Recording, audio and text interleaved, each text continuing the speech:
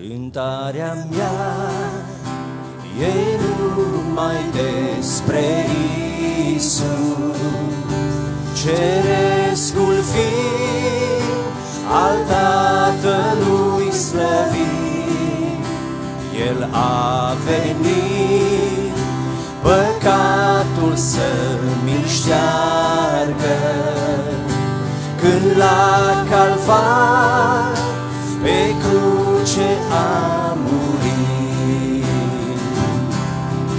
Cântarea mea e numai despre Isus, ce în locul meu pedeapsa a purtat. și în versul ei cântarea mea va spune ce fericit bogățimea ta.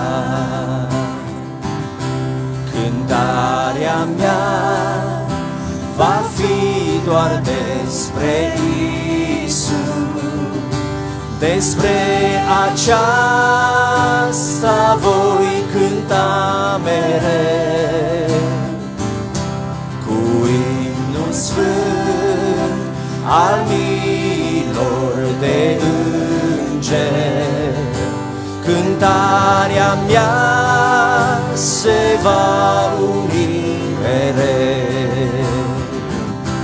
Cântarea mea e numai despre Isus, ce în locul meu pedeapsa a purtat. și în versul ei spune ce fericit și bogățimea ta.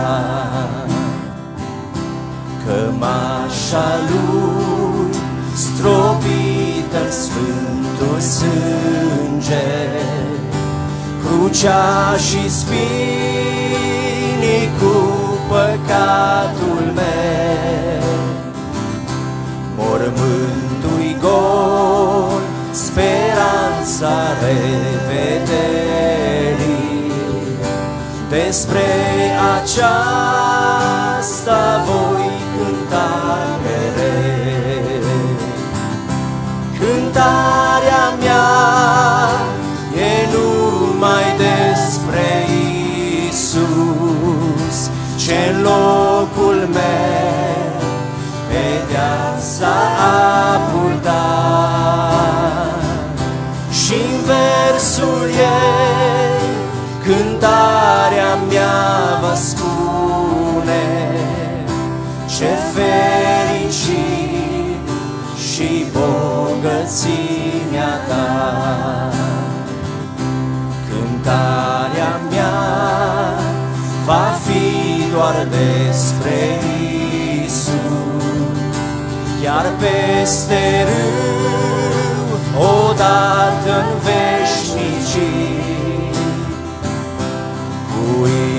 sfânt al miilor de îngeri, cântarea mea atunci se va uni. Cântarea mea e numai despre Isus, ce în locul meu pedeapsa a purtat. Versul ei cântarea mea va spune ce fericit și bogățimea ta. Slăvit să fie Domnul! Suntem aici în seara aceasta adunați ca să cântăm despre Domnul Isus Hristos, despre numele Lui Cel Sfânt. Pentru că Lui s-a dat un nume mai presus decât orice nume. Și numele Lui trebuie să plece orice genunchi a celor din ceruri, de pe pământ și de sub pământ. Și orice limbă să mărturisească spre slava lui Dumnezeu că Isus Hristos este Domnul. Slăvit să fie numele Lui. Aș vrea să intrăm într-o rugăciune și să mulțumim Domnul care ne ajută ca din nou în această seară să fim prezenți în locul acesta și să cerem ca prezența Lui să fie cu noi în această seară. Să-i mulțumim pentru tot ceea ce El ne dă, pentru harul Său, pentru nădejdea care a pus-o în inimă, să mulțumim pentru locul acesta de închinare, să mulțumim pentru sănătate. Avem atâtea lucruri pentru care trebuie să mulțumim Domnului. Haideți să intrăm într-o rugăciune de mulțumire, cerând sprijinul și ajutorul Lui pentru slujba din această seară. Cu toții ne rugăm Domnului. Venim înaintea Ta, Tată din ceruri, și îți mulțumim, Doamne, pentru că prin îndurarea Ta se bucură omul de viață. Prin îndurarea Ta, Doamne, din nou suntem adunați în jurul cuvântului Tău, în jurul Evangheliei, Evangheliei veșnice, pe care ne-ai dat-o, Doamne, ca să o propovăduim celor din mijlocul nostru, celor, Doamne, din jurul nostru. De ce mă rog, Doamne, ca Tu să binecuvântezi întâlnirea noastră. Doamne, a venit cu dor de a te lăuda pe Tine, de aceea te rog, binecuvântă, Doamne, orice inimă, orice gură care se va deschide în această seară, să mărturisească în numele Tău. Te slăvesc pe Tine, Doamne, și te măreți. Doamne, până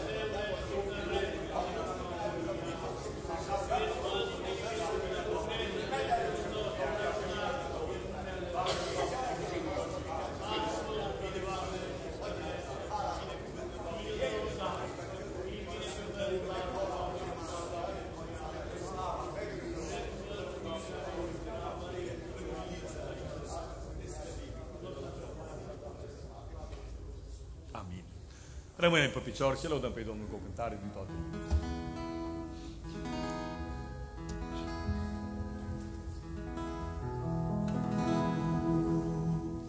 Mai de preț ca orice pe pământ este calea lui. Voi merge pe ea toată viața mea. Pentru cer mă voi naște din nou din apă și dur. Pentru Dumnezeu, pentru veșnicii, înaintea Domnului meu vii, cu viața mea să-i o închid. Eu calea lui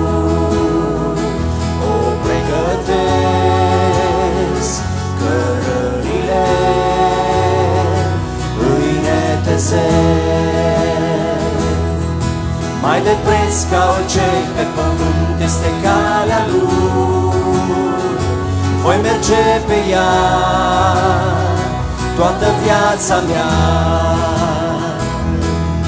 Pentru cer mă voi naște din nou din apă și dur.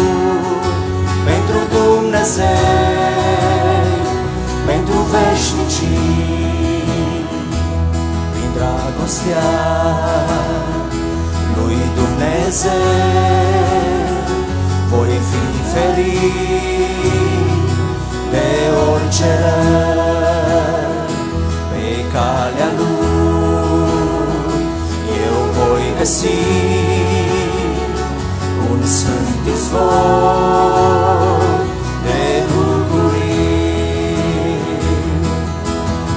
preț ca orice pe pământ este calea lui voi merge pe ea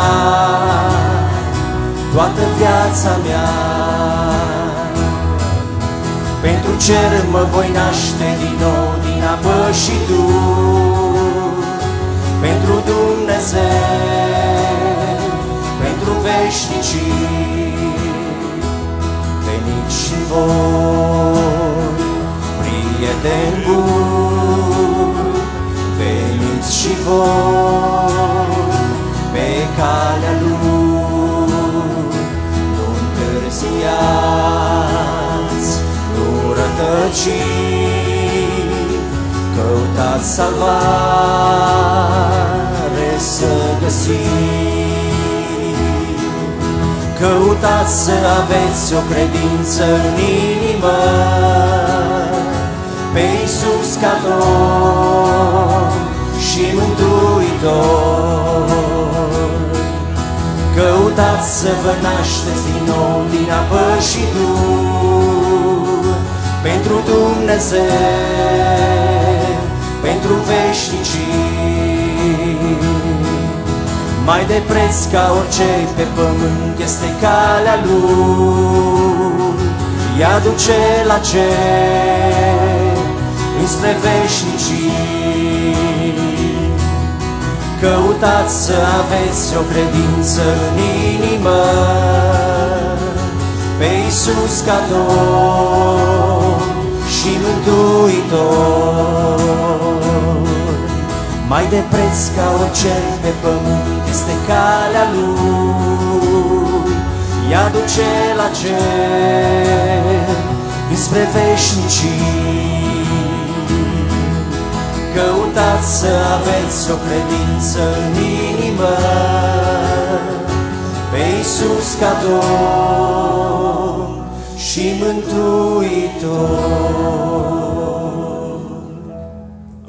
Slăvit să fie Domnul! Să avem credință în inimă. Doamne ajută-ne, pentru că cuvântul Domnului ne spune că fără credință este cu neputință să fim plăcuți lui Dumnezeu. Cine se apropie de El, în primul rând trebuie să creadă. Slăvit să fie Domnul. Doamne, mărește credința noastră. Să spunem așa cum a spus omul acela, mărește-ne credința, ajută-ne credinței mele ca să puteți să fim plăcuți lui Dumnezeu. Acum vă rog să deschideți uh, Sfânta Scriptură la Psalmul 56. Voi citi acest psalm, după care vom intra în rugăciune, cerând sprijinul Domnului. Să învățăm de la acest om al lui Dumnezeu, de la David, care a avut o viață foarte tulbure, cu multe probleme, multe greutăți. Când ne uităm la viața lui, uh, numai Dumnezeu l-a ținut în picioare. Saul vrea să-l omoare, Absalom s-a ridicat împotriva lui. A avut multe probleme și și noi avem multe probleme. De aceea e bine ca să învățăm de la el, să vedem ce a făcut el în problemele vieții lui. Să facem și noi. Ai milă de mine, Dumnezeule, căci niște oameni mă hărțuiesc. Toată ziua îmi fac război și mă chinuiesc. Toată ziua mă, hărțu- mă hărțuiesc potrivnicii mei și mulți și se războiesc cu mine ca niște trufași. Ne putem să ne comparăm și noi cu David? Suntem hărțuiți în timpul săptămânii, avem probleme la lucru, avem probleme acasă. De multe ori trecem prin aceste lucruri.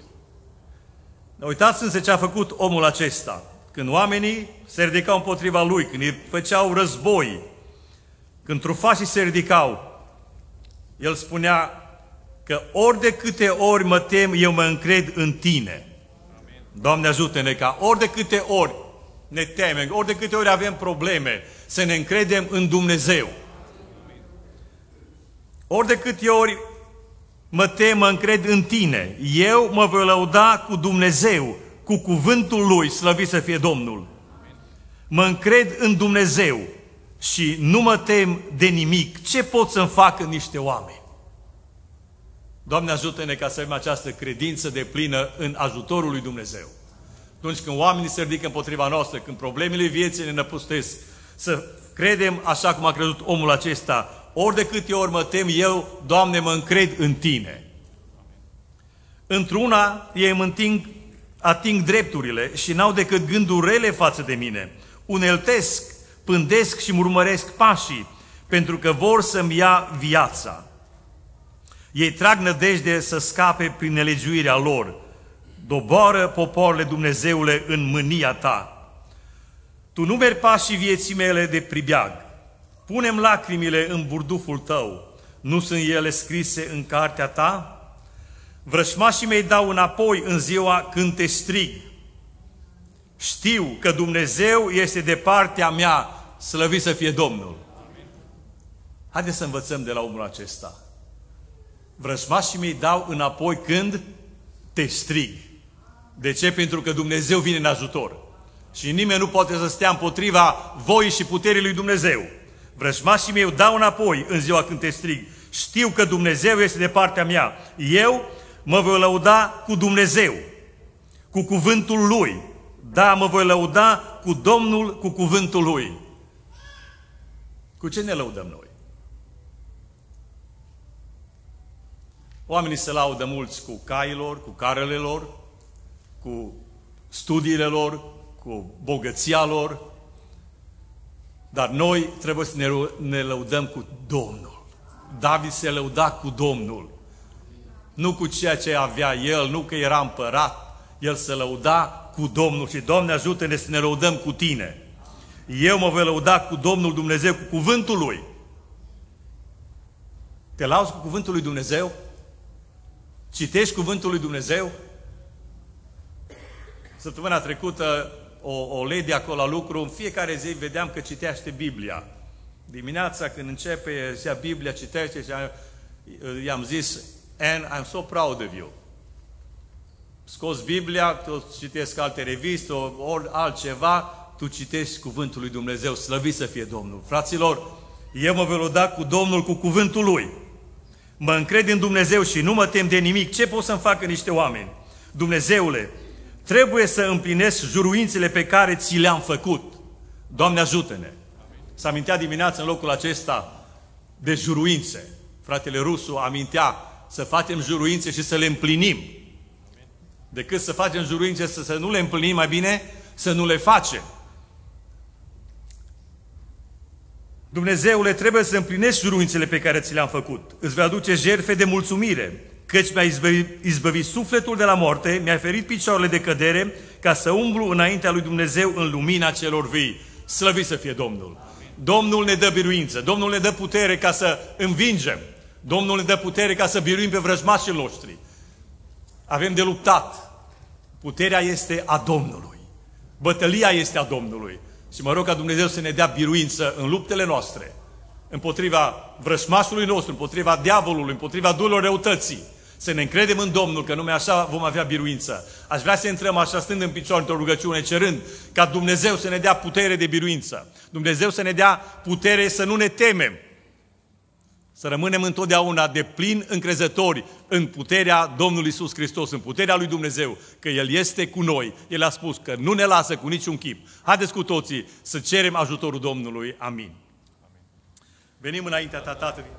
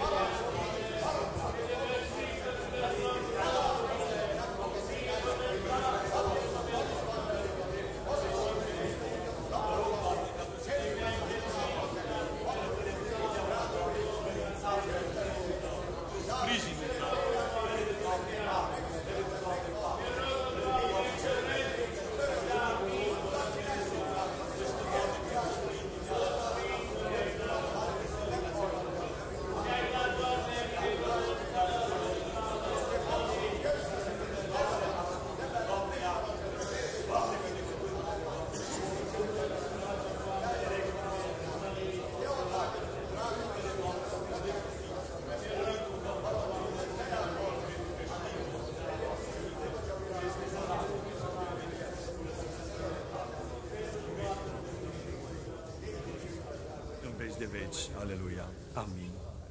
Amin. Lăudăm pe Domnul cu o cântare.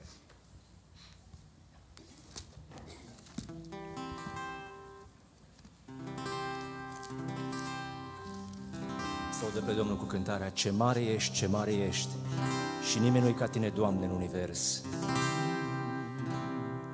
Tu din vântul faci solii Tu ai înălțat munții Doamne, lăudat să fii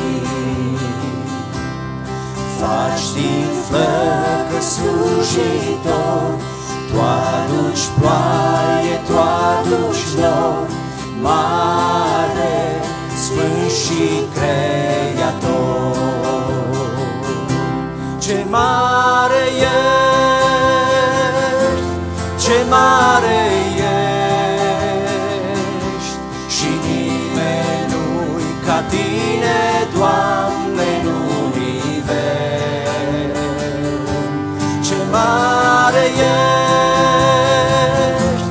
ce mare ești, o Domnul meu, o Domnul meu, o Domnul meu. Ce mare ești, ce mare ești, și nimeni nu-i ca tine, Doamne, în univers. Ce mare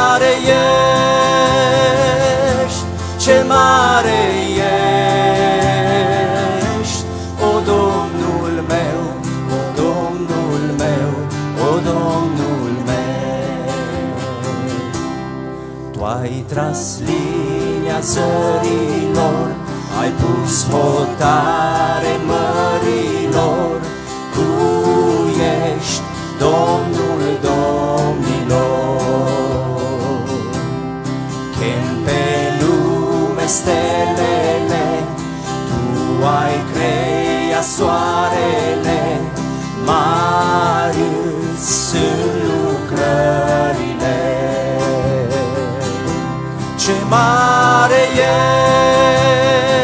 ești, ce mare ești, și nimeni nu-i ca tine, Doamne, în univers mare ești,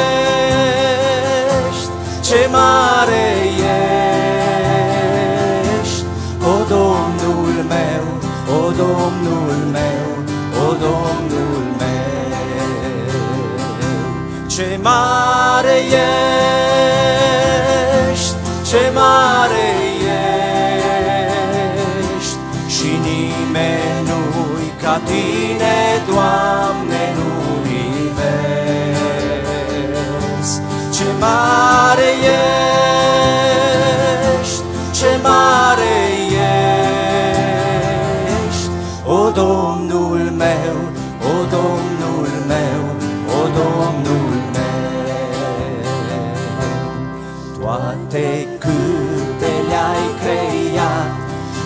îți dau slavă neîncetat, Doamne, fii în veci lăudat și dealul și câmpii, păsărele mii și mii, toate spun slăvit să fii. Ce mare ești, ce mare ești, și nimeni nu-i ca tine, Doamne, nu mare ești, ce mare ești, o Domnul meu, o Domnul meu, o Domnul meu. Ce mare ești, ce mare ești, și nimeni nu-i ca tine, Doamne, nu ce mare ești, ce mare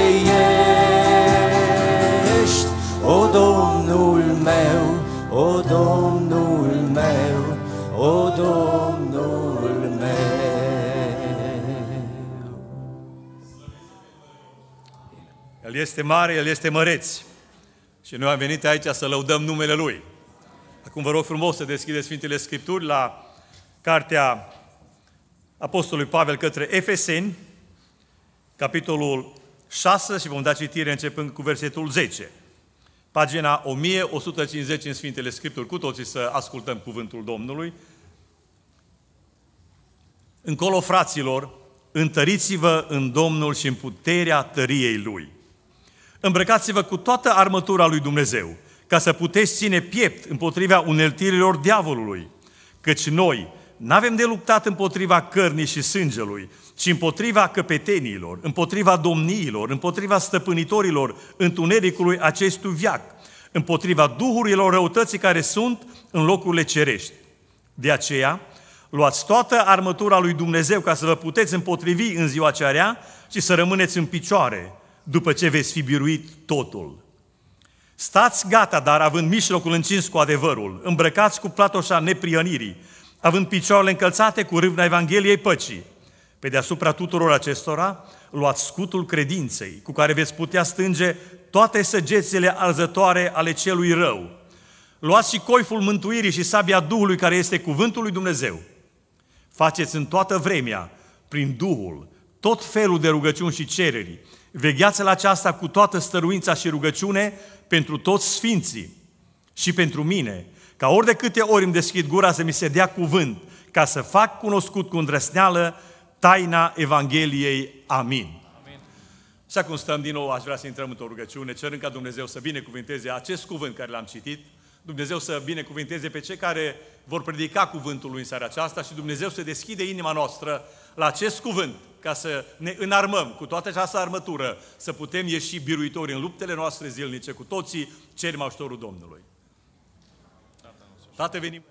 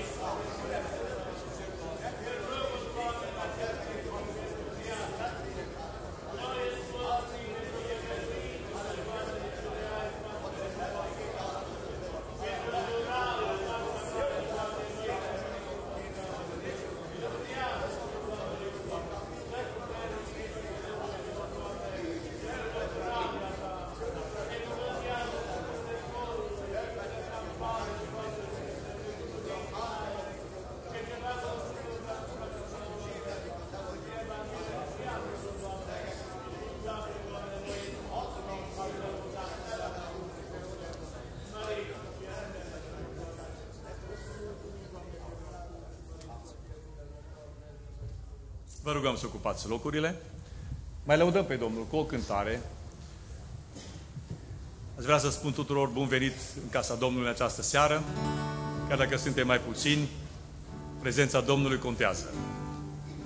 Să ne rugăm ca Domnul să ne vorbească în seara aceasta. Este un text minunat. Avem de luptat în fiecare zi.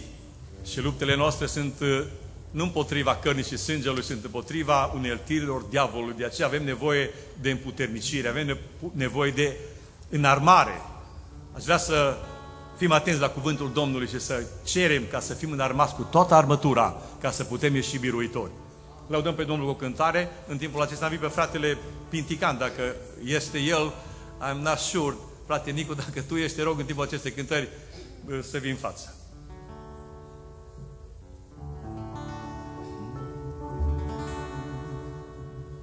Azi când de bucurie dau slavă în veșnicie, căci Iisus m-a salvat.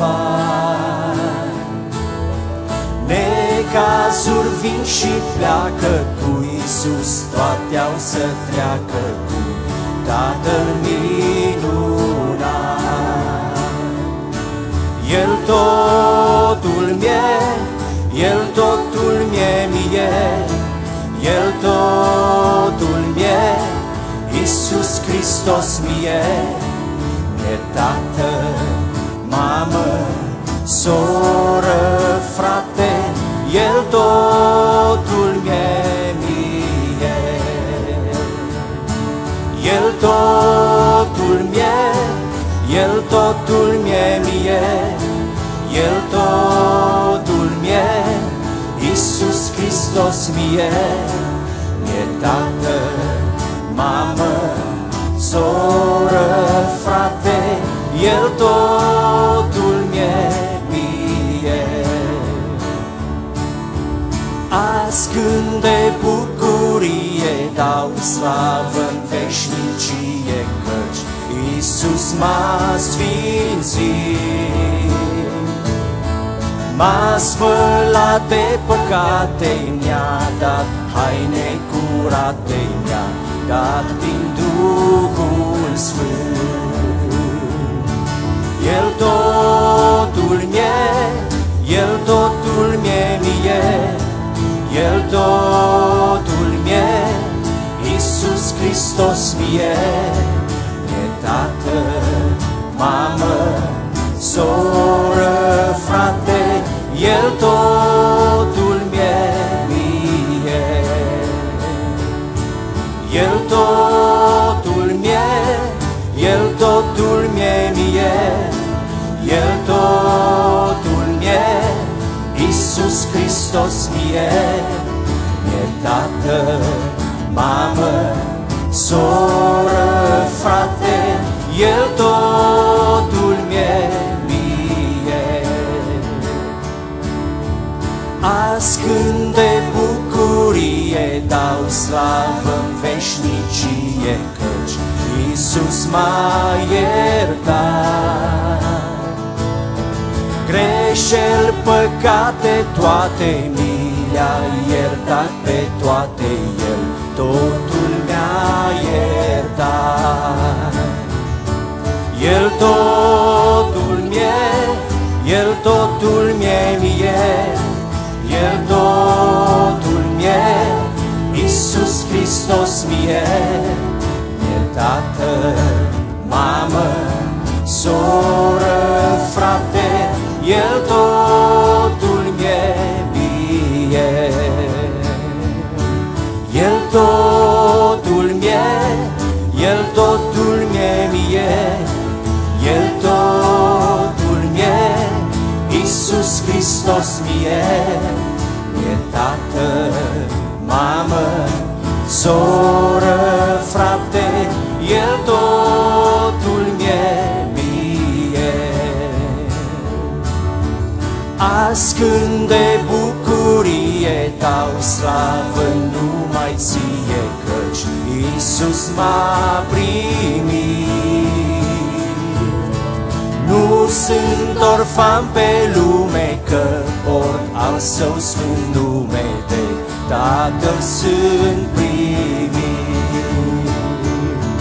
El totul mie, El totul mie mie, El totul mie, Iisus Hristos mie, e tată, mamă, soră, frate, El totul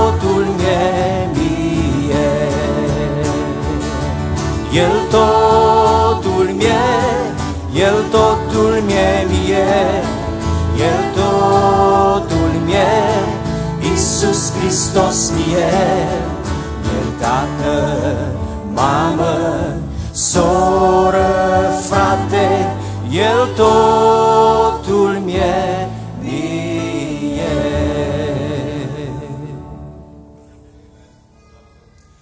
mie. ascultăm fanfara care va lăuda pe Domnul cu o cântare urmată de cor. În una lor ne rugăm ca Domnul să binecuvânteze pe fratele Septimiu, Pușcaș, care va predica cuvântul Domnului. Domnul să-i dea un cuvânt deosebit pentru inimile noastre în această seară. Amin.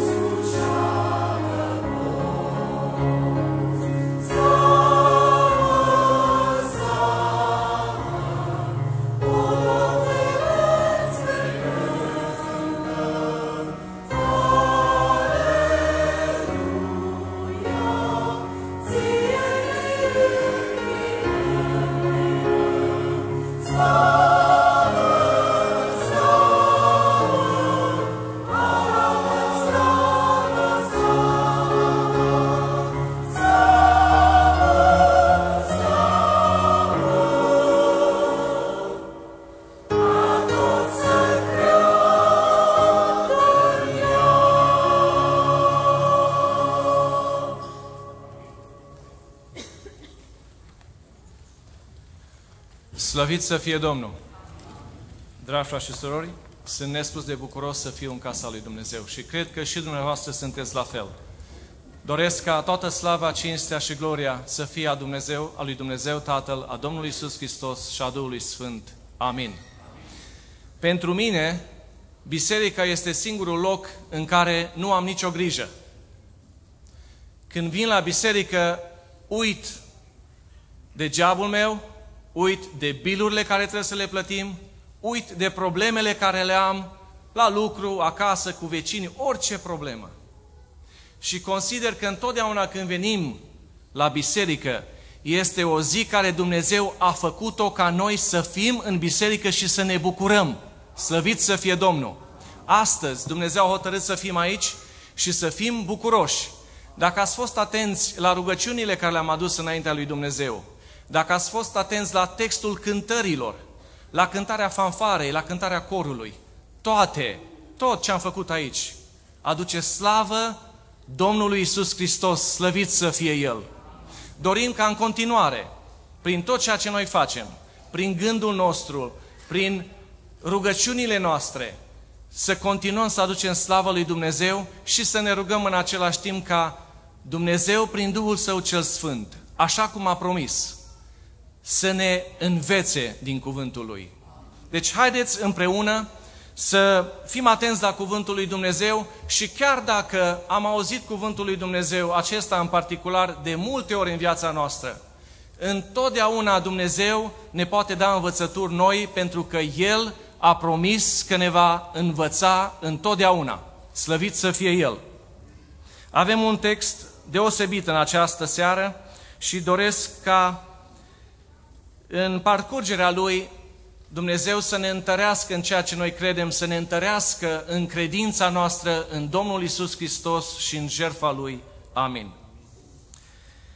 Textul din această seară se referă la ucenicii, la frații pe care Pavel, în călătoria lui de misionar, a ajuns să-i cunoască în orașul Efes, la Efeseni. Este o scrisoare scrisă de Apostolul Pavel către ucenicii și către biserica pe care el a înființat-o.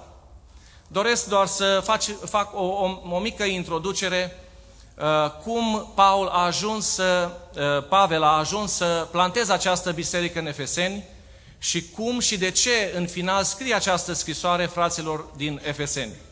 În călătoria lui de misionar uh, a ajuns în acest oraș Efes, care se află în partea de vest a Turciei, în partea de sud a, lui, a orașului Izmir și este cam în linie dreaptă, dincolo de Mediterană, cum ar veni a orașului Atena, capitala Greciei. Orașul Efes, astăzi numit Selcuc, de fapt nu mai există, dar există ruinele acestui oraș. El a fost capitala Asiei, iar în acest oraș, când uh, Pavel a ajuns, el a început să propovăduiască uh, despre Domnul Isus Hristos. Și doresc să merg puțin înapoi în uh, Faptele Apostolilor, de unde să citim exact ceea ce s-a întâmplat și cum, de fapt, uh, Apostolul Pavel plantează această biserică. Găsim scris în Cuvântul lui Dumnezeu în Faptele Apostolilor de la capitolul 19, de la versetul 8 în jos. În urmă, Pavel a intrat în sinagogă unde vorbea cu îndrăzneală. Timp de trei luni a vorbit cu ei despre lucrările privitoare la împărăția lui Dumnezeu și căuta să înduplece pe cei ce-l ascultau. Dar fiindcă unii rămâneau împietriți și necredincioși și vorbeau de rău calea Domnului înaintea norodului, Pavel a plecat de la ei, a despărțit pe ucenici de ei și a învățat în fiecare zi pe norod în școala unuia numit Tiran. Lucrul, lucrul acesta a ținut doi ani, așa că toți cei ce locuiau în Asia, iudei și greci, au auzit cuvântul Domnului. Slăvit să fie Domnul! Pavel și-a luat timpul, chiar dacă a avut piedici, și-a luat timpul ca să învețe pe frații lui, pe ucenicii din, uh, din Efes, iar în cele din urmă, Pavel ajunge la Roma pentru că el a cerut să fie judecat de cezar în urma acuzațiilor care el le-a primit din partea iudeilor. Iudeii l-au acuzat pe Pavel că aduce învățături greșite și în cele din urmă el a cerut ca să fie judecat de cezar. Acum fiind uh, la Roma, uh, cam prin anii 63 uh, după Hristos, își amintește cu drag de bisericile în care el a petrecut mult timp plantând aceste biserici, învățându-i pe frați și vrea să le scrie la fiecare în parte câte o scrisoare de învățătură, de actualizare a doctrinei care el i-a învățat pe acești frați, cât și de încurajare de a merge înainte. Epistola lui Pavel către Efeseni dacă o citim în întregime, s-ar putea împărți în două părți. În prima parte, așa cum deja am menționat, este vorba despre uh, actualizarea sau uh, întărirea doctrinei pe care Pavel a predicat-o acestor oameni și prin care el vrea să le reamintească despre marile binefaceri ale mântuirii Domnului Isus Hristos, care Domnul Isus Hristos le-a adus în, uh, în viața acestei biserici și a altora, prin care, de fapt, Domnul Isus Hristos, prin jertfa Lui, a înființat această biserică.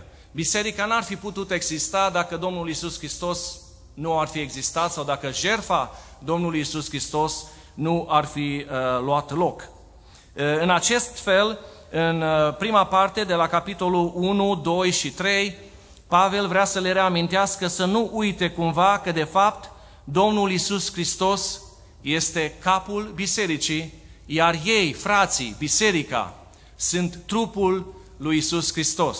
Slăvit să fie Domnul! În același timp, Pavel dorește să le amintească încă un lucru foarte important și anume, jertfa Domnului Isus Hristos aduce o unitate în ce privește categoriile de oameni, aduce o unitate prin care oricine, adică oricine, crede în jertfa Domnului Isus Hristos, poate să aibă viață veșnică. Aceasta se referă atât la iudei, dar acum se referă atât cât și la păgâni, cât și la neamuri. Deci neamurile, prin uh, jertfa Domnului Isus Hristos, acum sunt una sau acela, au aceleași drepturi ca și iudeii. Slăvit să fie Domnul! În această categorie suntem și noi. Și citind epistola aceasta către Efeseni, era mulțumitor lui Dumnezeu cum Pavel a știut să scrie așa de multe scrisori. Asta este doar una dintre ele, scrisori care au ajuns până la noi. Scrisori din care noi învățăm astăzi, scrisori din care noi ne încurajăm. Slăvit să fie Domnul! Ă, găsim, așa cum am menționat, în Efeseni, capitolul 2, ă, versetul 16, găsim menționat aici ceea ce am spus, că acum, de fapt, ă, păgânii și iudeii sunt una Uh, prin jertfa Domnului Isus Hristos, capitolul 2, versetul 16, spune și a împăcat pe cei doi cu Dumnezeu într-un singur trup, prin cruce, prin care a nimicit vrăjmășia. Slăvit să fie Domnul! Partea a doua acestui, uh, acestei epistole, acestei scrisori, uh, de la capitolul 4 până la 6 se referă la învățătura morală care uh, Pavel a dat-o ucenicilor și acum vrea să le o reamintească și ei să se reîntărească și să prindă puteri noi în, uh, în viața lor. Astăzi ne vom ocupa cu ajutorul lui Dumnezeu despre, doar din capitolul 6, de la versetul 10 până la 18 inclusiv. Aici, dacă citim textul, putem să luăm mai multe puncte importante. Eu mi-am ales patru pe care doresc să le menționez și în, din care doresc să uh, vorbesc cu ajutorul lui Dumnezeu și anume, uh, la, capitol, la versetul 10, cuvântul lui Dumnezeu spune Întăriți-vă în Domnul și în puterea tăriei Lui. Ăsta ar fi numărul 1. Numărul 2 ar fi un punct care îl găsim în versetul 11, îmbrăcați-vă cu toată armătura lui Dumnezeu. Punctul numărul 3 ar fi, stați gata, dar având mijlocul încins cu adevărul. Iar punctul numărul 4 îl găsim în versetul 18, faceți în toată vremea prin Duhul tot felul de rugăciuni și cereri. Și cereri. Slăvit să fie Domnul! Referindu-ne la punctul numărul 1, întăriți-vă în Domnul, am auzit și de multe ori probabil avem tendința să ne încredem în noi înșine, în loc să ne încredem în Dumnezeul nostru în orice lucru care îl facem în viața noastră. Atunci când noi avem tendința de a ne încrede în noi înșine și uităm de Dumnezeul nostru sau uităm că Dumnezeu trebuie să fie la cârma vieții noastre, Dumnezeu ne lasă în uh, voia noastră ca să, să, să ne putem vedea în nevoie față de Dumnezeul nostru. Deci dacă noi uh, nu știm să apelăm la Dumnezeu, Dumnezeu ne lasă să ajungem la momentul la care ne dăm seama că trebuie să apelăm la Dumnezeu. Dar însăși, însă, dacă noi apelăm la Dumnezeu de la început și spunem, Doamne, eu sunt slab, neputincios, eu nu pot, dar știu, Doamne, că Tu poți. Lucrurile atunci se schimbă. Dumnezeu vine în viața ta, vine în ajutorul tău. Și atunci Dumnezeu se aliază forței pe care, de care noi avem nevoie ca să trecem prin ispite, prin încercări, prin felurite încercări prin care noi trecem uh, în viața noastră. Deci El, în final, devine soluția de care noi avem nevoie. Nu la întâmplare, Apostolul Pavel spune aici, întăriți-vă în Domnul și în puterea tăriei Lui. Pavel avea experiență și știa că numai în Domnul te poți încrede și numai în tăria Domnului Isus Hristos te poți încrede. Deci, cu certitudine, dragi și surori, trebuie ca întotdeauna în fața oricărei încercări, în fața oricărui proiect care noi ne-l propunem în viața noastră ca să-l străbatem, trebuie să ne gândim, să cerem ajutorul lui Dumnezeu în viața noastră și în ceea ce noi vrem să facem. Uh, găsim scris uh, în uh, Efeseni, de la capitolul 3, versetul 16 până la 19, în cuvântul lui Dumnezeu, astfel – și rog ca, potrivit cu bogăția slavei sale, să vă facă să vă întăriți în putere prin Duhul Lui, în omul din lăuntru, așa încât Hristos să locuiască în, inime, în inimile voastre prin credință, pentru că având rădăcina și temelia pusă în dragoste, să puteți pricepe împreună cu toți sfinții, care este lărgimea, lungimea, adâncimea și înălțimea, și să cunoașteți dragostea lui Hristos, care întrece orice cunoștință, ca să ajungeți plini de toată plinătatea lui Dumnezeu. Doamne, ajută-ne! Vrem să ne încredem în Dumnezeul nostru, vrem ca să cunoaștem, așa cum spune cuvântul lui Dumnezeu, cum spune Pavel aici, să cunoaștem lărgimea, lungimea, adâncimea și înălțimea Dumnezeului nostru, pentru că El este un Dumnezeu atotputernic, omniprezent și atot știutor. Slăvit să fie Domnul! Haideți să mergem mai departe acum și să Uh, discutăm despre punctul numărul 2 care l-am uh, uh, enumerat aici, și anume îmbrăcați-vă cu toată armătura lui Dumnezeu. Istoricii au studiat istoria de-a lungul anilor, așa după cum noi o știm, după cuvântul lui Dumnezeu, și mergând înapoi, 3600 de ani înainte de Hristos, plus anii care îi avem de după Hristos, ajungem la un total de 5615 ani aproximativ. Și istoricii au găsit că de-a lungul acestor ani, între oameni s-au iscat în jur de 14.500 de războaie. 14.500 de războaie. În această perioadă, 5.325 de ani au fost ani de război. Numai 292 de ani au fost ani de pace. Dacă stăm și ne analizăm și uh, căutăm să înțelegem Oare de ce oamenii au fost în război așa de mulți ani, așa de multe ori? Găsim oamenii întotdeauna s-au bătut, au fost în război pentru pământ, pentru aur, pentru petrol, pentru gaz, pentru cine să conducă. Dar este foarte trist că niciunul din aceste războaie nu s-a dat pentru viața veșnică. Astăzi, Pavel vrea să ne amintească toate aceste războaie care s-au au avut loc până acum și care au și în continuare și vor avea, nu sunt așa de importante așa cum este războiul care satana și Domnul Isus Hristos îl duce pentru inimile noastre. Satana vrea să câștige inima noastră pentru iad, ca să nu fim într-o viață veșnică cu Domnul Isus Hristos. Domnul Isus Hristos însă, prin jertfa Lui, vrea ca inima noastră să fie câștigată pentru veșnicie, slăvit să fie Domnul. Cum poate fi inima noastră câștigată pentru veșnicie? Citim în Cuvântul lui Dumnezeu Îmbrăcați-vă cu toată armătura lui Dumnezeu ca să puteți ținea piept împotriva uneltirilor diavolului. Inima noastră este așa de importantă pe, pentru Dumnezeu, încât a hotărât ca Domnul Isus Hristos să vină și să ne răscumpere inima noastră, iertându-ne păcatele noastre.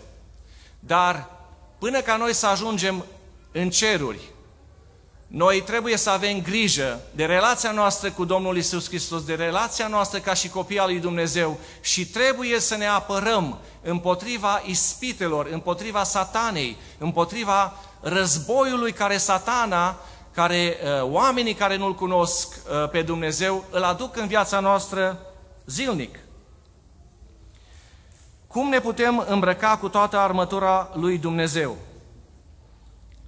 Avem exemple în Biblie nenumărate, dar am ales două să le menționez și anume uh, pe vremea conflictului dintre Gedeon și Madianiți, dacă vă amintiți, și chiar până la victoria lui David asupra lui Goliat.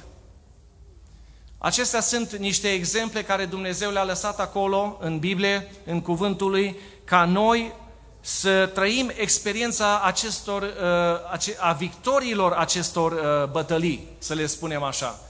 Știm foarte bine că oamenii aceștia au câștigat cu ajutorul lui Dumnezeu. Deci, de la început știm, în orice bătălie noi ne antrenăm uh, în viața noastră aici pe pământ, în orice ispită ne antrenăm, avem nevoie ca să apelăm la Dumnezeul nostru, așa cum am menționat mai înainte, întotdeauna să ne amintim, să ne rugăm lui Dumnezeu să vină în ajutorul nostru. Uh, bineînțeles că bătăliile acestea uh, nu se dau uh, într-o natură materială este de o natură spirituală și dacă este de o natură spirituală, atunci noi avem nevoie să ne înarmăm spiritual, așa cum, cum spune cuvântul lui Dumnezeu uh, astăzi în Efeseni 6 cu 12, noi nu avem de luptat împotriva cărnii și sângelui, ci împotriva căpetenilor, împotriva domniilor, împotriva stăpânitorilor întunericului acestui viac, împotriva duhurilor răutății care sunt în locurile cerești. Deci, uh, armătura și armele noastre sunt de o natură spirituală. Aceasta nu înseamnă că, fiind de o natură spirituală, ele sunt ireale sau nu au niciun efect. Nu, găsim scris în 2 Corinteni, uh, capitolul 10, versetul 3 și 4, cuvântul lui Dumnezeu uh, spunând astfel. Măcar că trăim în firea pământească, totuși nu ne luptăm călăuziți de firea pământească, căci armele cu care ne luptăm noi nu sunt supuse firii pământești, ci sunt puternice, întărite de Dumnezeu ca să surpe întăriturile. Slăvit să fie Domnul! Pavel dezvoltă cuvintele profetului Isaia din Vechiul Testament, care făcuse o asemănare spirituală între două din componentele armurii uh, soldatului, dacă vreți uh, uh, cu alte cuvinte, și anume Isaia spune în capitolul 59 cu 17, se îmbracă cu neprihănire ca și cu o platoșă. Își pune pe cap coiful mântuirii. Slăvit să fie Domnul! Înarmându-ne cu cuvântul lui Dumnezeu, întărindu-ne cu Dumnezeul nostru, putem să ne îmbrăcăm în armătura de care noi avem nevoie ca întotdeauna să putem să respingem atacurile celui rău, atacurile ispitelor, atacurile uh, poftelor uh, pământești, să le spun așa, poftelor uh, uh, firești. Uh, deci dacă acum am stabilit uh, că trebuie să purtăm armătura lui Dumnezeu în, uh, în viața noastră, în viața uh, noastră de credincioși, trebuie să fim atenți Uh, pentru că Pavel ne avertizează în, în cuvântul citit în această zi din uh, capitolul 6, uh, versetul 11 și versetul 13, ne avertizează de două ori, îmbrăcați-vă cu toată armătura lui Dumnezeu. Iar în 13 spune, de aceea luați toată armătura lui Dumnezeu, ca să vă puteți împotrivi în ziua cea rea și să rămâneți în picioare după ce veți, birui, veți fi biruit totul. Ne avertizează pentru că de multe ori, în uh, graba noastră, în graba vieții noastre, uităm să ne înarmăm cu toată armătura, uităm să apelăm la tot arsenalul care Dumnezeu ne-l pune la îndemână prin cuvântul Lui. Uh, și dacă uităm, ajungem să suferim, ajungem să eșuăm.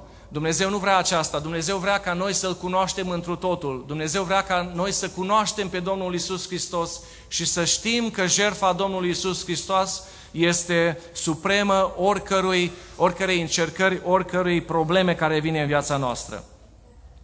Uh, deci îmbrăcându-ne cu armătura, cu cuvântul lui Dumnezeu, cu cunoștința cuvântului lui Dumnezeu, uh, mergem mai departe la punctul numărul 3 pe care l-am menționat și anume stați gata, dar, adică păstrează poziția, având mijlocul încins cu adevărul, îmbrăcați cu platoșa neprihănirii, având picioarele încălțate cu râvna Evangheliei Păcii.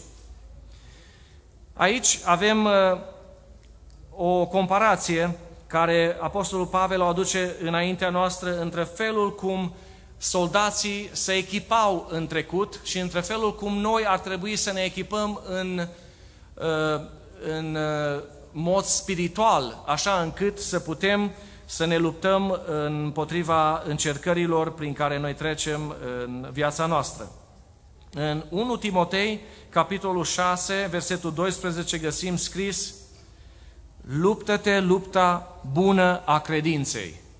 Iar ca să ne luptăm lupta bună a credinței, dragi și surori, noi trebuie să fim înarmați. Cum ne vom înarma? Cuvântul lui Dumnezeu ne spune așa de frumos, așa de metaforic aici. Dar vreau să apelăm puțin la modul cum soldații se înarmau în timpul uh, acela, în timpul lui Pavel, uh, ca să își asigure câștigul sau biruința, ca bătălia lor să aibă succes. Uh, mi-a plăcut, mi-a plăcut expunerea unui soldat care în timpul războiului civil, Uh, era vorba de războiul dintre Uniune și Confederație. Uh, Uniunea încerca să câștige un deal împotriva federației, iar federația era sus pe deal și trăgea în jos în vale către soldații Uniunii. Uh, soldații Uniunii, chiar dacă erau sub o ploaie de gloanțe, au reușit cumva să ajungă pe la jumătatea dealului. Uh, pe la jumătatea dealului și au dat seama că rezistența este foarte mare și acum au încercat să se retragă înapoi.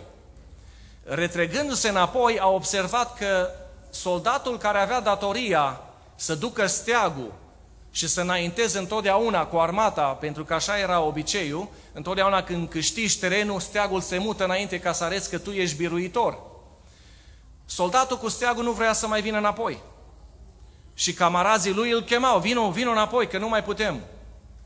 Soldatul acesta însă a ținut steagul pe loc și a spus, nu, steagul nu vine după voi, voi veniți la steag. Oamenii aceștia nu au avut o altă alegere decât să se încurajeze unul pe altul. Și chiar dacă erau într-o ploaie de glonțe, chiar dacă erau uh, trași asupra lor cu tunul, au reușit ca încurajându-se unul pe altul să ajungă până la steag și în continuare să se încurajeze și chiar să câștige dealul respectiv. M-am gândit ce comparație interesantă. Atunci când noi suntem gata să dăm înapoi, trebuie să ne amintim Steagul nostru, Domnul Isus Hristos, este biruitor în toate. Să nu dăm înapoi niciodată, oricât de greu ar fi, pentru că Dumnezeu a rânduit ca puterea noastră, iertarea, dar puterea noastră de a învinge în continuare să vină în viața noastră prin Domnul Isus Hristos și prin jertfa Domnului Isus Hristos. Slăvit să fie El! Dacă mergem în Cuvântul lui Dumnezeu mai departe, găsim recomandări. Stați gata având mijlocul încins, încins cu adevărul.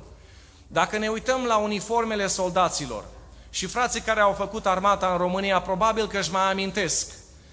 Nu conta cât erau de frumoși pantalonii sau uniforma care o puneai pe tine, dacă nu aveai cureaua, dacă nu ai baftaua, cum îi spuneam noi, centura, care să strângi hainele pe tine, parcă uniforma nu era completă. În armatele din vechime, această centură despre care se menționează aici și comparația e așa de frumoasă, având mijlocul încins cu adevărul, adică această centură este un lucru foarte important pentru că ea ține to- toate armele, hainele, armele care tu le porți, le ții agățate de această centură, iar dacă nu o ai, ești descoperit în fața inamicului. Cu alte cuvinte, noi avem nevoie de adevărul lui Hristos să fie în jurul nostru, să ne înarmăm întotdeauna cu puterea Domnului Isus Hristos, pentru că este supremă oricărei încercări. Uh, această, această îmbrăcăminte a soldatului uh, este uh, găsită de asemenea prin purtarea unui, unei platoșe. Platoșa sau zalele, cum le spuneam noi, Aici găsim, găsim îmbrăcați-vă cu platoșa neprihănirii. Uh, această platoșă pe care soldații, în speță soldații romani, pentru că să ajungi să ai niște zale, să ajungi să ai o platoșă, trebuie să ai fonduri. Trebuie să ai fonduri de înarmare. Iar atunci când te înarmezi, știi cum să-ți produci aceste uh, haine, aceste uh, instrumente care să te ajute să nu mori, ci să poți să lupți cât mai mult. Well, aceste platoșe atunci erau făcute din uh, mai multe plăci de metal sau din uh, plăci mai mici care erau cusute în spate cu o anumită fibră. Uh, erau una peste alta ca și solzii la pește, așa încât săgețile sau uh, uh, anumitele arme care le folosea inamicul, totdeauna să, să lovească în zale sau în această armătură, în această platoșă și uh, organele vitale a corpului să nu fie atinse, încât soldatul să reziste cât mai mult. Comparativ, astăzi, cuvântul lui Dumnezeu ne spune că noi trebuie să purtăm platoșa neprihănirii, care întotdeauna merge mână în mână cu haina neprihănirii Domnului Isus Hristos. Deci atât platoșa, cât și haina pe care stă platoșa, sunt fructele, sunt roadele Domnului Isus Hristos, slăvit să fie El. Cu acestea trebuie să ne înarmăm, să ne, să ne îmbrăcăm noi. Deci cu platoșa neprihănirii și cu haina neprihănirii Domnului Isus. În Iov, capitolul 29, versetul 14, găsim Mă îmbrăcam cu neprihănirea și ea îmi slujea de veșmânt. Slăvit să fie Domnul! La fel, dragi frați și surori, și noi trebuie să ne îmbrăcăm cu neprihănirea și ea să ne slujească de veșmânt. Singurul mod prin care putem trăi experiența biruinței împotriva celui rău este prin încrederea că neprihănirea Domnului Isus ne acoperă inima și suntem iertați. Slăvit să fie Domnul! Deci, încă o dată, singurul fel de a trăi, de a birui împotriva celui rău, este ca încrederea noastră în neprihănirea Domnului Isus Hristos ne acoperă inima și suntem iertați. Slăvit să fie Domnul! Nimeni și nimic altceva pe pământul acesta nu ne poate oferi această neprihănire. Un alt aspect al platoșei este că, așa cum am spus, ea se, uh, se uh, producea așa încât să apere organele vitale a soldatului din partea din față. Platoșa însă nu se punea la spate niciodată. Una că ajungea să fie foarte greu, dar cel mai important era soldatul nu era instruit niciodată să întoarcă spatele către dușman. Niciodată. Era aparat din față și îi se, dădea, îi se dădea tot ce avea nevoie încât el să meargă înainte. Cu alte cuvinte, dragi și surori, pe drumul pe care noi am pornit ca și copii al lui Dumnezeu, ca și copii a Domnului Isus Hristos, noi nu avem dreptul să ne întoarcem niciodată înapoi, să ne întoarcem cu spatele, să dăm ocazie vrășmașului să ne lovească și să ne omoare în spate. Trebuie să fim la fel ca și soldații care odată ce au pornit înainte, ei se duc înainte. Odată ce au pornit la război, ei luptă. Doamne ajută-ne ca niciodată să nu dăm înapoi, niciodată să nu întoarcem spatele, ci să luptăm pentru că Dumnezeu are grijă să ne dea proviziile necesare și tot ce avem noi nevoie. Slăvit să fie Domnul! În Iacov, în capitolul 4, versetul 7, găsim scris așa de frumos, Supuneți-vă dar lui Dumnezeu, împotriviți-vă diavolului și el va fugi de la voi. Doamne, ajută-ne! Deci dacă ne împotrivim diavolului, dacă mergem înainte, așa cum am spus, Dumnezeu ne va purta de grijă. Însă, însuși Domnul Isus Hristos, pentru a, a ieși biruitor după ce a fost ispitit de diavol în pustie, spune satanei astfel, pleacă satanul, i-a răspuns Isus, căci este scris, Domnului Dumnezeului tău să te închini și numai Lui să-i slujești. Atunci diavolul l-a lăsat. Slăvit să fie Domnul! Acesta îl găsim scris în Matei 4, versetul 10 și 11. Doamne, ajută-ne ca întotdeauna să știm să răspundem prin cuvântul lui Dumnezeu, să răspundem satanei, să răspundem încercărilor prin care noi trecem, ca diavolul să ne lese, să ne lese în pace, să, ne, să răspundem așa cum a răspuns Domnul Isus. Domnului Dumnezeului tău să te închini și numai Lui să-i slujești. Doamne, ajută-ne! Un alt aspect, aspectul numărul 3, uh, prin, uh, din, care reiese din textul din această zi, uh, se referă la scutul pe care soldații îl foloseau în, acea, în acele timpuri. În versetul 16 spune cuvântul lui Dumnezeu, pe deasupra tuturor acestora luați scutul credinței cu care veți putea stinge toate săgețile arzătoare, arzătoare ale celui rău. Uh, acest scut despre care se vorbește aici, scutul soldatului, de fapt reprezintă uh, o altă unealtă de apărare împotriva vrăjmașului. Scutul era întotdeauna făcut din lemn sau din bronz, avea un mâner la spate și o cureaua care se lega de mână ca să nu fie scăpat de soldat și întotdeauna să fie în măsură să se apere.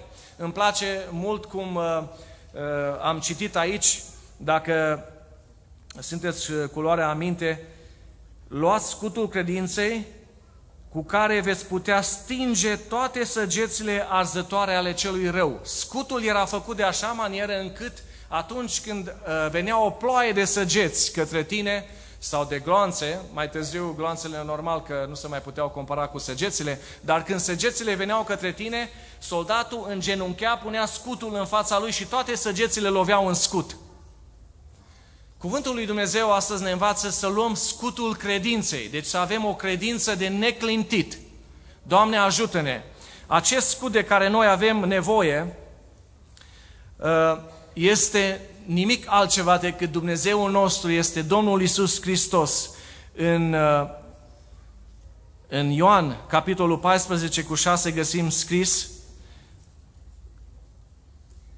căci de fapt Hristos este pentru noi calea, adevărul și viața. Doamne, ajută-ne ca întotdeauna să ne amintim scutul nostru să fie Isus Hristos prin care noi dobândim calea, adevărul și viața. În, uh, tot Apostolul Pavel declară în Galateni, într-o scrisoare scrisă lui Galateni, uh, bisericii din Galateni, în capitolul 3 cu 27, spune Toți care ați fost botezați pentru Hristos, v-ați îmbrăcat cu Hristos. Dragi și surori, nu uitați, noi toți ne-am botezat pentru Hristos. Noi toți suntem îmbrăcați cu Hristos. Doamne, ajută-ne ca întotdeauna să ne amintim acest lucru. Uh, mergem mai departe, pentru că timpul zboară așa de repede și aș dori doar să menționez că scuturile uh, din vechime care le foloseau soldații aveau de asemenea o uh, pictură, o scriere, un semn dacă vreți, eh, prin care să se recunoască unul cu altul în timpul războiului, nu cumva soldații să lupte unul împotriva altora. Eh, la fel, eh, noi trebuie să ne amintim întotdeauna, atunci când noi ridicăm scutul împotriva celui rău, împotriva ispitelor, că ridicăm scutul în numele Domnului Isus Hristos, în numele Împăratului Împăraților. Slăvit să fie El! Și atunci când ridicăm scutul și ne apărăm în numele Domnului Isus Hristos, vom fi biruitori. Și știți de ce vom fi biruitori? Pentru că Dumnezeu a promis prin cuvântul Lui și îl găsim scris în 1 Corinteni, capitolul 10 cu 13. Nu va ajuns nici o ispită care să nu fi fost potrivită cu puterea omenească. Și Dumnezeu care este credincios nu va îngădui să fiți ispitiți peste puterile voastre, ci împreună cu ispita a pregătit și mijlocul să ieșiți din ea, ca să o puteți răbda. Slăviți să fie Domnul! Deci Dumnezeu are grijă ca niciodată, nicio ispită să nu fie prea mare pentru noi, iar dacă ispitele vin în viața noastră, El întotdeauna ne ajută, a pregătit mijlocul ca noi să ieșim biruitori din ispita respectivă. Slăviți să fie Domnul!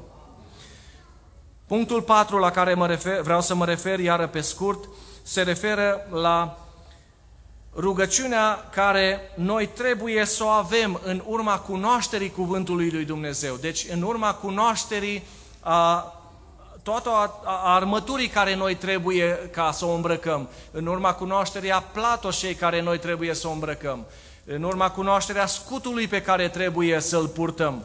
Noi trebuie să venim înaintea lui Dumnezeu și să ne rugăm așa cum ne îndeamnă cuvântul lui Dumnezeu.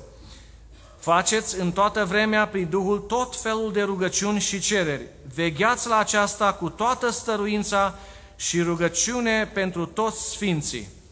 Doamne, ajută-ne ca întotdeauna, întotdeauna să știm să ne plecăm înaintea Ta și să ne rugăm, ca întotdeauna să înțelegem cuvântul Tău, să înțelegem să-L aplicăm în viața noastră, așa încât întotdeauna să fim biruitori.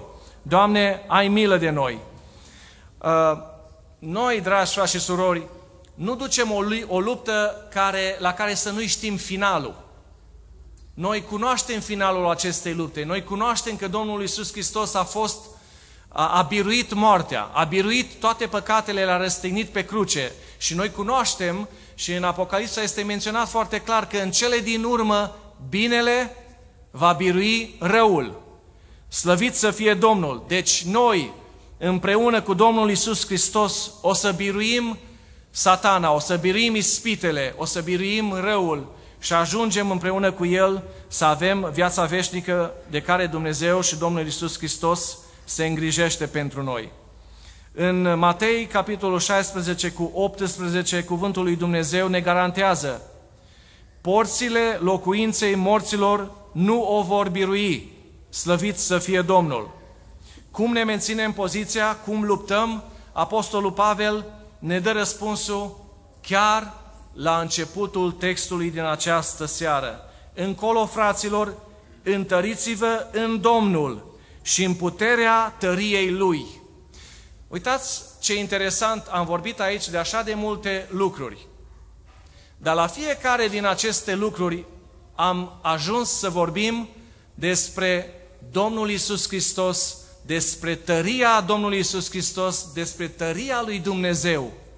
Deci, în concluzie, dragi frate și surori, toate aceste lucruri sunt înglobate în dragostea lui Dumnezeu pentru noi și în puterea Domnului Isus Hristos, slăvit să fie El. Amin.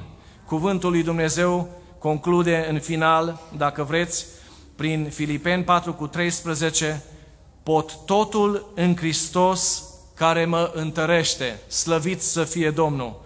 Și mai este încă un pasaj care îmi place așa de mult. Cine merge la război pe cheltuiala sa? 1 Corinteni 9 cu 7. Dumnezeu plătește toată cheltuiala pentru întregul arsenal, deci haideți să nu dăm înapoi niciodată și să nu ne fie frică de vrăjmașul nostru, căci Dumnezeu este cu noi, slăvit să fie El. Amin.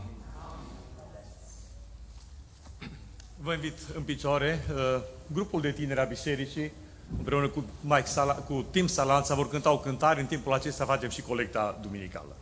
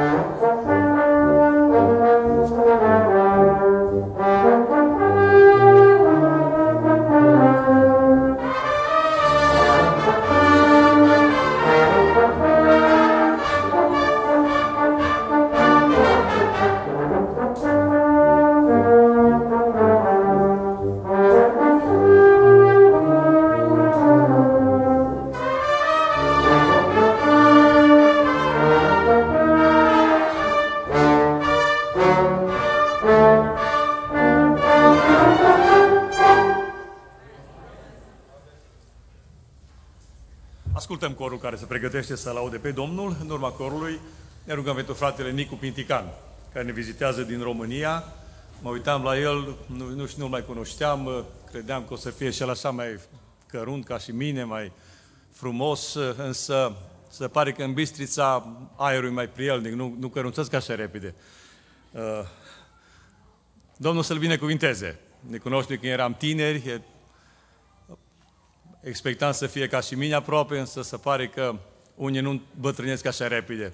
Domnul să-l folosească în câteva cuvinte mai scurte, să ne aducă un salut de la Bistrița, să ne rugăm pentru el ca Domnul să-l folosească. Amin.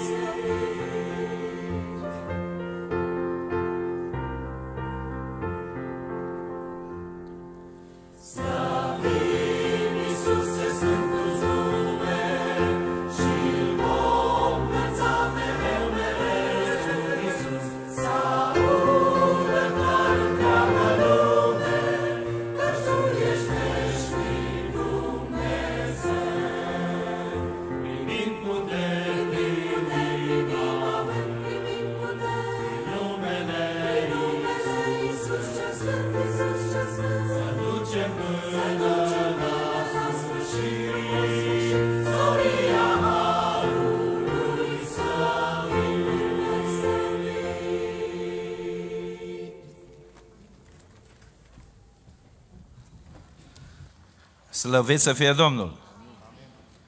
Slăvit să fie Domnul! Iubiți frați și surori, să cade să dăm toată slava lui Dumnezeu care ne-a dat harul ca în după masa aceasta să nu fim pe un pat de suferință sau sub roțile unei mașini, ci să fim în casa Domnului, unde putem să lăudăm pe Domnul din toată inima. Un poet creștin spunea, trecură ani, trecură viacuri, trecură prinți și cerșitori, dar tu ai rămas în viața noastră și când te cerem, te cobori. De aceea te rugăm, Iisuse, cobor la noi în adunare. Oprește-te din nou o clipă, să simtă iarăși fiecare. Împarte-ne din nou putere, revarsă în suflet de credință, ne dă belșug de mângăiere și în drumul vieții, biruință, glorie Domnului. Iubiții mei, frați și surori, Vă aduc salutări sfinte în numele Domnului nostru Isus Hristos din țară. Aș vrea să vă aduc de dincolo, dar ceea ce din, de dincolo avem aici în Cuvântul lui Dumnezeu. Cuvântul lui Dumnezeu, frați și surori, este un cuvânt minunat. Și în seara aceasta am auzit multe lucruri frumoase din cuvântul lui Dumnezeu. Dar ceea ce aș vrea în seara aceasta, aș vrea ca să trecem la câteva lucruri practice. Să nu rămână doar o istorie, doar o poveste.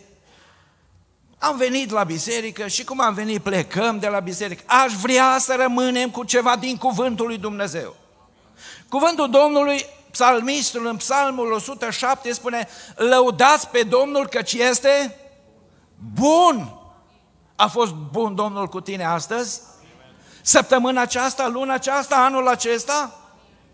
Lăudați pe Domnul că ce este bun, căci în viac ține îndurarea Lui. Căci în viac ține îndurarea Lui. Așa să zică cei răscumpărați de Domnul, pe care i-a izbăvit El din mâna vrăjmașului. Ai fost răsfă... izbăvit din mâna vrăjmașului? Laudă pe Domnul. De slavă lui Dumnezeu! În seara aceasta cuvântul lui Dumnezeu ne spune în cartea Domnului în Isaia 51 cu 11, cei răscumpărați de Domnul ce vor face? Se vor întoarce în Sion. Cu ce se vor întoarce? Cu cântări de biruință. Fraților, dacă Domnul ne-a izbăvit din mâna vrăjmașului, nu trebuie să fim triști. Trebuie să fim plini de bucurie, să dăm slavă lui Dumnezeu, să ne întoarcem în Sion cu cântări de biruință. Și o bucurie veșnică le va încununa capul, îi va apuca veselia și bucuria. Iar durerea și gemetele ce vor face? Vor fugi. Vreți să fugă durerea și gemetele? Vrei să fim plini de bucurie? Să lăudăm pe Domnul. Aceasta așteaptă Domnul de la noi. Cuvântul lui Dumnezeu ne spune că Domnul se coboară în mijlocul Asta trebuie să facem, să lăudăm pe Domnul și atunci vom fi plini de bucurie. Înainte, frați și surori, de a ne îmbrăca cu toată armătura Duhului, așa cum am auzit în seara aceasta, cuvântul lui Dumnezeu ne învață să ne îmbrăcăm omul dinăuntru. Și cu ce trebuie să-l îmbrăcăm? Prima haină care trebuie să o ia creștinul în călătorie înspre Canaanul Ceresc. Trebuie să se îmbrace cu ceea ce spune cuvântul lui Dumnezeu. Și în Coloseni, capitolul 3 și versetul 2, și spune, astfel, dar ca niște aleși al lui Dumnezeu, sfinți și preiubiți, îmbrăcați-vă. Cu ce, Doamne, să ne îmbrăcăm? Cu o inimă plină de îndurare. E nevoie de îndurare? Să învățăm de la Domnul care este plin de milă și de îndurare. Apoi, cuvântul lui Dumnezeu, a doua haină care ne spune că trebuie să o luăm pe noi, cu o inimă plină de bunătate. Apoi, timpul nu ne permite, trebuie să mergem mai repede, spune îmbrăcați-vă cu o inimă plină de smerenie. Avem nevoie de smerenie? Domnul a spus, învățați de la mine că eu sunt smerit, blând și smerit. Să învățăm de la Domnul.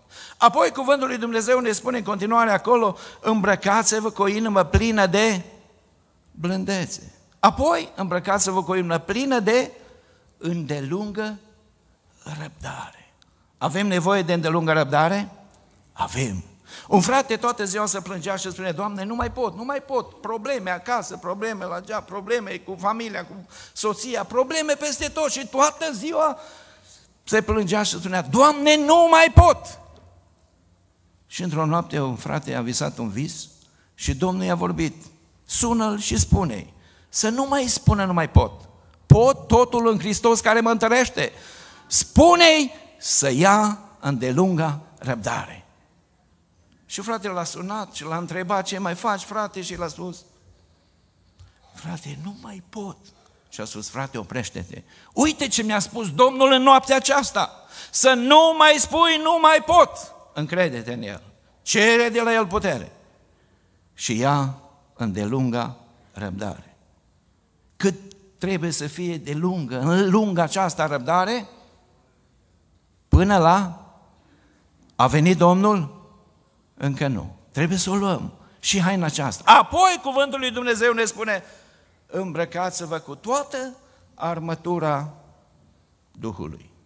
Ca să putem stinge toate săgețile arzătoare celui rău. Frați și surori, trebuie să ne îmbrăcăm și să ascultăm de cuvântul lui Dumnezeu. Cine se biruiește pe sine, spune cuvântul lui Dumnezeu, este? Cum este? Mai tare ca cel ce biruiește cetăți. Sunt mulți care au fost biruitori și au biruit cetăți. Dar cuvântul lui Dumnezeu te vrea pe tine biruitor, pe mine biruitor, pe noi toți. Să biruim. Și ca să putem birui, noi trebuie să ascultăm de cuvântul lui Dumnezeu. Cine credeți că este cel mai tare om de pe pământ? Cel mai puternic? Cine credeți?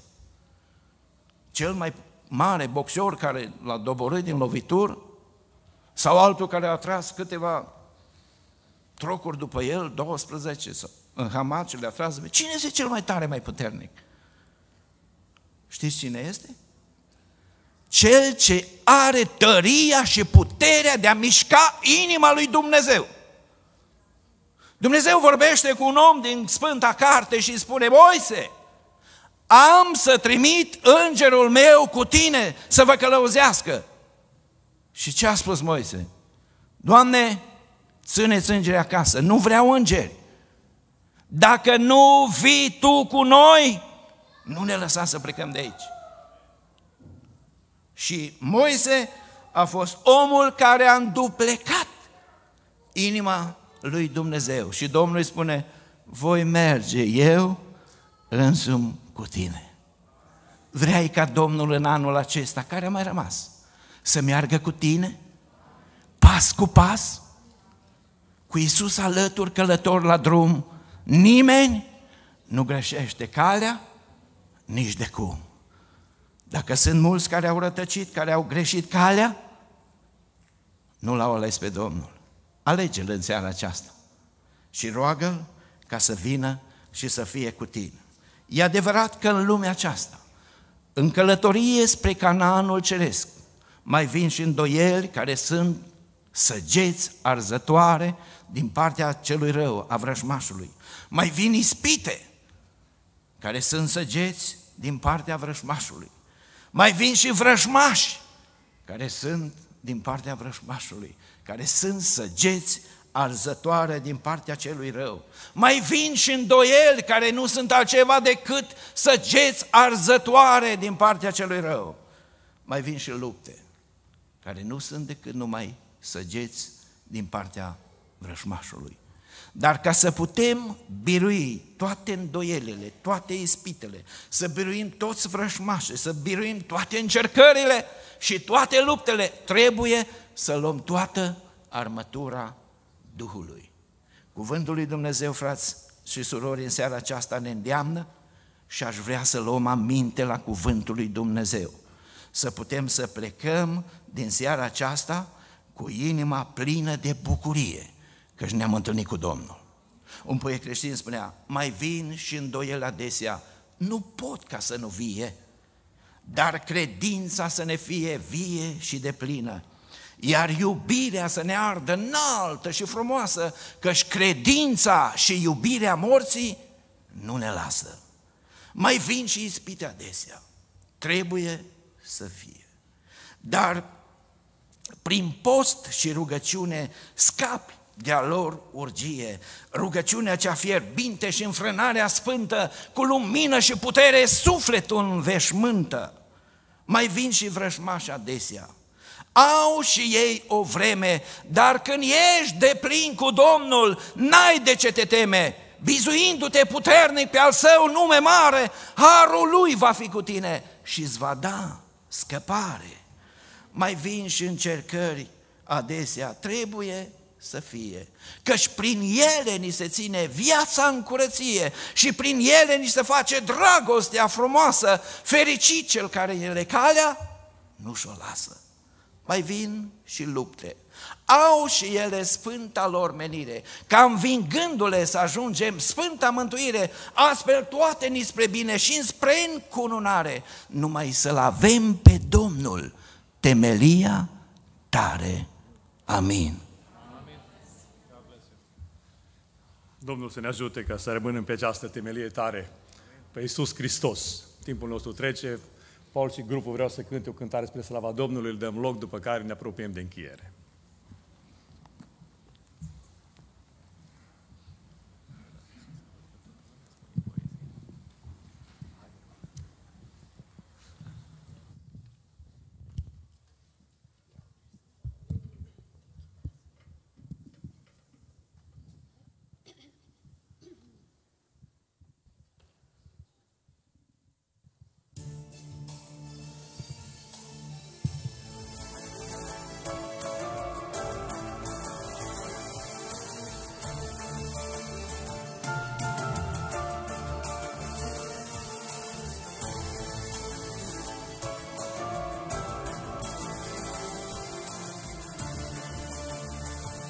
Am văzut paradisul în flăcări, Cum ardeau stelele de rubin, Fâlfâind a iubirilor flăcări, Sus pe oceanul cel cristalin.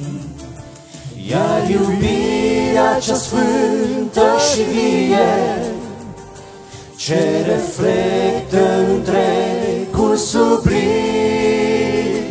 cu a ei lumina străvezie, se revasă din harul divin.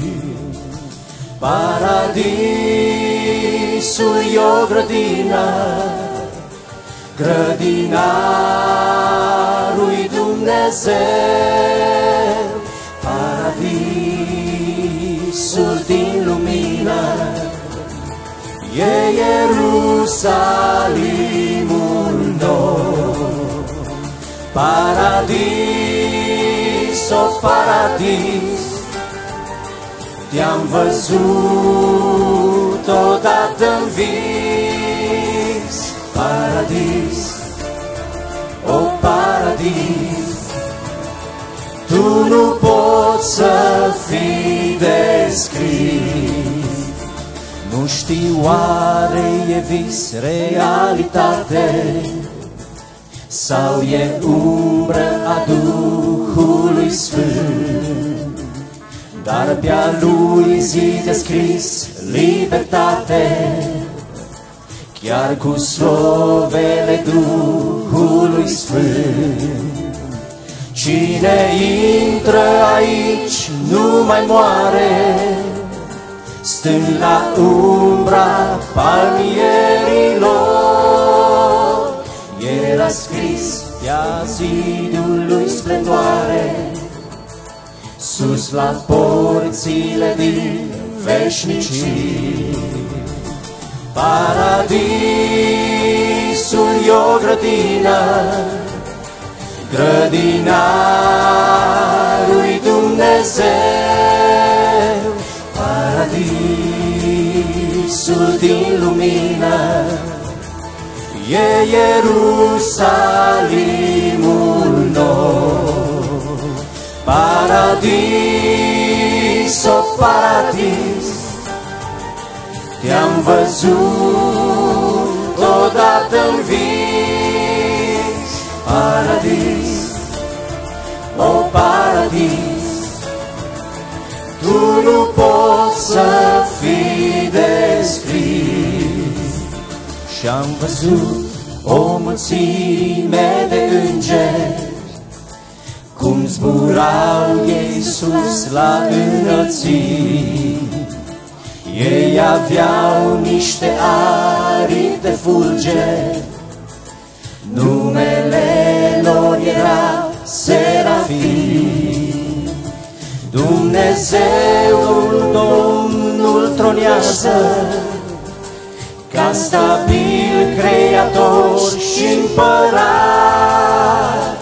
îmbrăcat în lumină și slavă, Dumnezeul nostru prea înalt.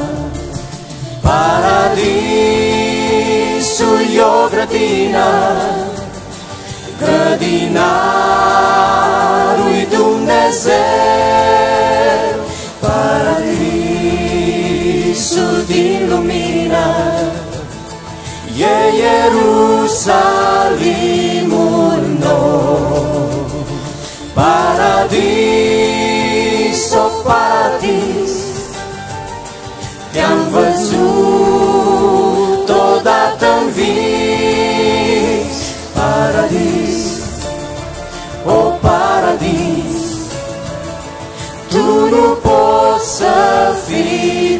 descris. Paradis, oh paradis, te-am văzut odată în vis. Paradis, o paradis, tu nu poți să fii descris.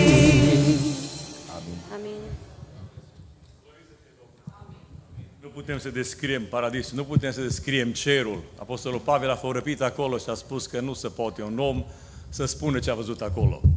Însă într-o zi o să le vedem. Doamne, ajută-ne să ajungem în paradis, la locul acela pregătit de Tine. Însă ca să ajungem acolo, fraților, până atunci este de luptat. Viața de creștin este o viață de luptă. Să nu credem că ne-am pocăit și acum am rezolvat treaba. Atunci când ne-am pocăit, atunci când am zis da lui Hristos, am declarat război diavolului. Și în universul acesta este o luptă. O luptă spirituală.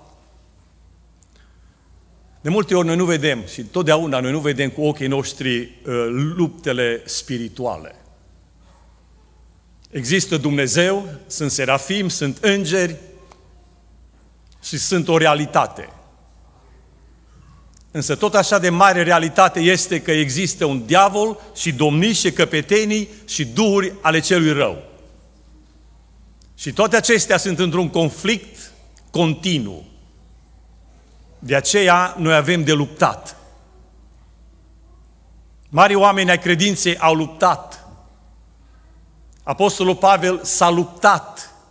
A spus, m-am luptat lupta cea bună. Mi-am sfârșit alergarea și am păzit credința. Și apoi îl îndeamnă pe Timotei de asemenea să se lupte. Luptă-te lupta cea bună. Apucă viața veșnică la care ai fost chemat. Fraților, este o luptă. Întrebarea care se pune, biruim noi în lupta aceasta? Pentru că noi nu avem de luptat împotriva cărnii și a sângelui. Din nefericire, noi de multe ori luptăm împotriva cărnii și a sângelui, împotriva oamenilor, împotriva unul altuia. Însă lupta noastră este împotriva durilor răutății, care se războiesc cu sufletele noastre. Și în, în această luptă avem nevoie de această armătură care astăzi s-a citit. Avem nevoie de adevăr, mijlocul să vă fie încins cu adevărul. Asta și m-am gândit, uai, de ce? Primul lucru pe care îl specifică aici Apostolul Pavel este adevărul. Știți de ce? Pentru că lupta este împotriva diavolului, care este mincinosul. Diavolul este un ucigaș, este un hoț, este un mincinos. Și noi avem de luptat împotriva acestor duhuri. Cu ce? Cu adevărul. Și cine este adevărul? Iisus Hristos, slăvit să fie numele Lui. Fraților, noi nu putem ca să învingem în această luptă fără Hristos. Absolut. De aceea, versetul care a fost citit, versetul 10, primul, spune încolo, fraților, întăriți-vă în Domnul și în puterea Lui, în puterea tăriei Lui. Că numai prin Hristos dacă Hristos locuiește în noi, noi putem să avem această biruință în lupta aceasta spirituală. Adevărul. Doamne ajută-ne să spunem, să trăim adevărul. Hristos să trăiască în noi. Apoi spune, îmbrăcați-vă cu platoșa neprihănirii. Cine este neprihănirea noastră? Hristos. Hristos a fost făcut de Dumnezeu pentru noi, sfințire, neprihănire, răscumpărare. Să ne îmbrăcăm cu scutul credinței, coiful mântuirii și apoi, cum s-a amintit, să facem în toată vremea tot felul de rugăciuni prin Duhul slăvit să fie Dumnezeu. Dacă toate acestea vor fi în noi, înseamnă că în noi este Hristos. Și când Hristos este în noi, singurul care l-a biruit pe diavolul, cine a fost? Hristos. Și aceea în care este Hristos îl biruiesc. De aceea aș vrea ca Hristos să locuiască în noi. Așa spune Apostolul Pavel, Hristos să locuiască de plin în noi. Hristos în voi. Nădejdea slave, slăvit să fie Dumnezeu. De aceea aș vrea să ne examinăm viața noastră. Și dacă vedem că în luptele noastre cădem, vine o ispită, vine o încercare, cădem. Este un question mark, este un semn de întrebare. De ce? Dacă Hristos este în noi, biruim. Și atunci, dacă cădem, trebuie să ne întrebăm, oare este Hristos în mine? Dacă nu este, să-L chemăm, să, să-i dăm loc, să stăpânească, să domnească în inimile noastre, în trupul nostru, ca lupta noastră să fie întotdeauna încununată de biruință. Este o luptă și fără luptă nu este cunună. Trebuie să luptăm. În fiecare zi, în fiecare oră, în fiecare minut. Dacă am vedea lupta spirituală cu, cu ochii ăștia de carne, probabil ne-am înspăimântat. Gheazi a tremurat când a văzut asta sirienilor în jur. N-a știut ce să facă și, și a tremurat și a spus, stăpâne, ce ne facem? Ce a zis Elisei? Doamne, deschide ochii ca să vadă. Și când ochii lui a fost deschis, când a văzut ingerii lui Dumnezeu, tabăra lui Dumnezeu în jurul lor a spus, stăpâne, sunt mai mulți cu noi decât cu ei. Asta vreau să se întâmple cu noi, să fie Hristos. Și atunci vom avea biruință. Doamne, dă-ne biruință în luptele noastre. Ca să avem biruință, fraților, să ne examinăm în această seară, să vedem dacă Hristos locuiește în noi. Și dacă El locuiește în noi, cu siguranță vom birui, că El a biruit. Domnul să ne ajute să ducem o viață de biruință. Să avem grijă de vorbele noastre, de ochii noștri, de faptele noastre, de ispitele care sunt în jurul nostru ca în toate să ieșim biruitori, ca să putem primi cununa vieții. Domnul să ne ajute la aceasta. Amin. Vă invit în picioare pe toți și aș vrea pentru tot ceea ce Dumnezeu ne-a dăruit în această zi. Să-i mulțumim Domnului, cerând ca El să ne îmbrace cu putere de sus, cu Duhul Său cel Sfânt, cu Hristos să fim îmbrăcați, ca să ducem în săptămâna care intrăm o viață de biruință. Domnul să asculte rugăciunea și la sfârșit să mulțumim Domnului pentru toate binecuvântările pe care El ne-a dat astăzi și toată viața noastră până acum. Amin. Doamne, venim înaintea Ta în aceste momente și îți mulțumim, Doamne.